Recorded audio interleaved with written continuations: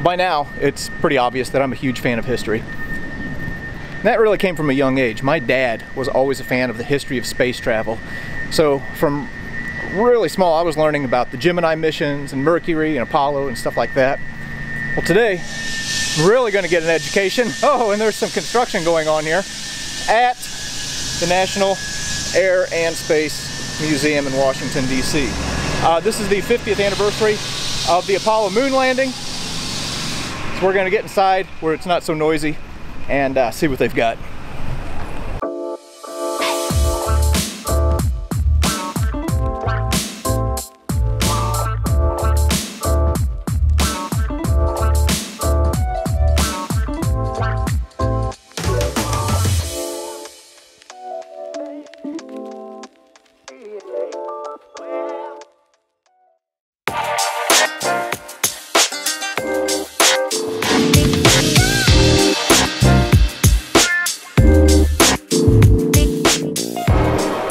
I just walked in here to the Air and Space Museum and we aren't wasting any time going right to a lunar module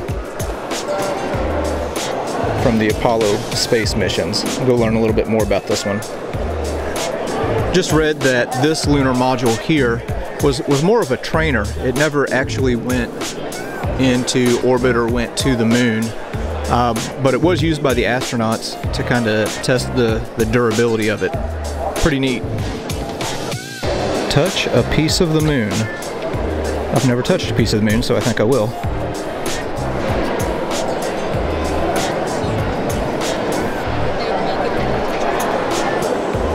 That right there is a V-1 rocket from World War II. Uh, during World War II, Nazi Germany really had the jump on everybody as far as rocket technology. These were nicknamed buzz bombs. And then later, they developed the V-2 rocket, which you can see here on the left. Uh, after World War II, the uh, U.S. launched something called Operation Paperclip, where we went and basically tried to round up all of these Nazi rocket scientists and German rocket scientists and bring them to the United States to work on the U.S. rocket program and the space program. Chief among them, Wernher von Braun.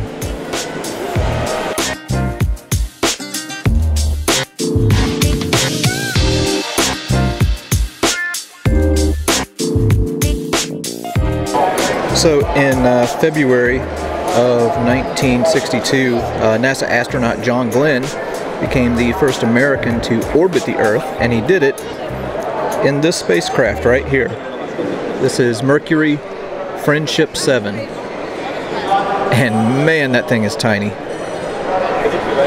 Okay, so after the Mercury program, uh, the U.S. launched the Gemini space program. So the Mercury capsule, you'll notice, only has one seat, whereas Gemini, you might be able to see in there, has, has two seats. Uh, this is Gemini 4 right here, which is kind of hard to see from the glare. But uh, this is where Ed White became the first American to walk in space from this capsule right here. Um, if the Russians. Wow. Such cool history. This is pretty interesting. This is a Soviet cosmonaut flight suit. Notice it's not pressurized like the American ones. Uh, this is just a two-piece wool suit. They didn't want to wear the uh, the bulky pressure suits. Would have been bad if the cabin would have depressurized though. And it also came uh, with this little survival knife in case they landed in a wild area in the Soviet Union. Interesting. This is pretty neat. This is on loan from a museum in Russia. This is uh, the suit of a Soviet cosmonaut by the name of Alexei Leonov, who was the first one to have a manned space flight. Interesting.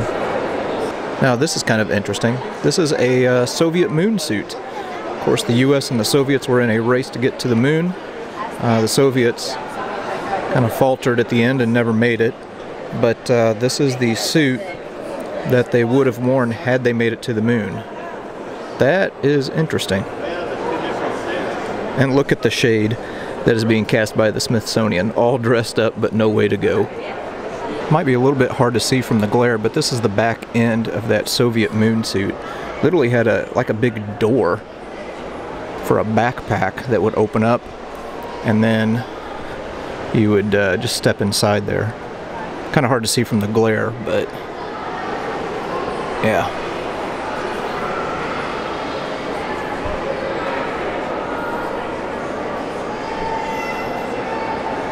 There, you can probably see it a little bit better now. You just step right into that thing.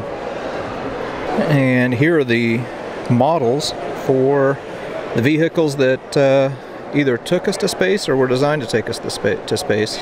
Over here on the left, this is the Saturn V, which most Americans familiar with the space program know of. Uh, and then this over here, this was the Soviet design. This was called the N1. And of course, it never made it.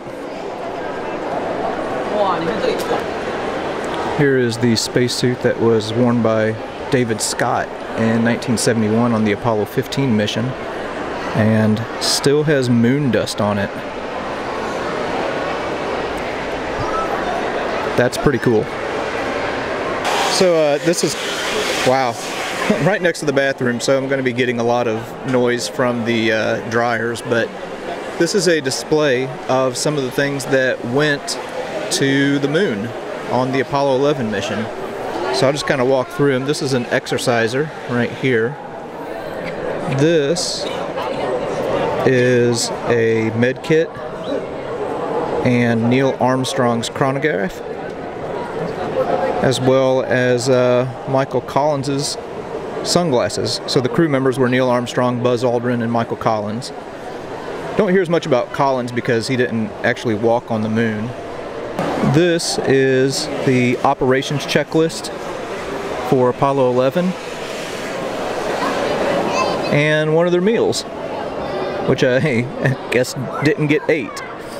And then they even got Michael Collins' toothbrush. That's kind of funny. Look at here. We got some pineapple fruit cake. That looks awful. Okay, now this isn't from Apollo 11, this is from 12 and 16, but this is the lunar sample return container. So this is where they would put samples from the moon to bring back. And uh, it's a little soil sampler right there. Interesting. This is pretty crazy. So after Neil Armstrong died, his family discovered this white cloth bag in a closet and found space contents inside of it. Uh, sent it to NASA or sent them pictures and uh, they realized that it was stuff that had gone to the moon on the lunar module Eagle, including this uh, data acquisition camera and just a few, few tools like this wrench and a waist tether. And it was just sitting in his closet that entire time. Wow.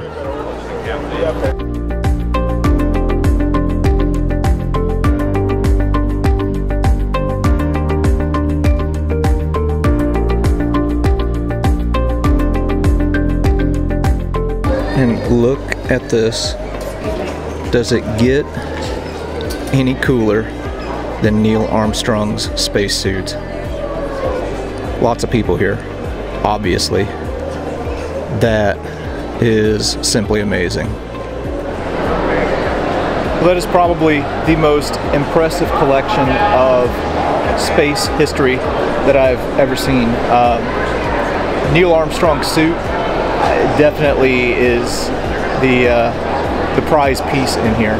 Um, now, there's other things here in the museum about the history of flight, things from the Wright brothers and Charles Lindbergh, um, but I'm going to save that for the next video. Lots of cool stuff here though. This kid just completely butted in front of me. Oh, okay. I guess I'm just invisible here.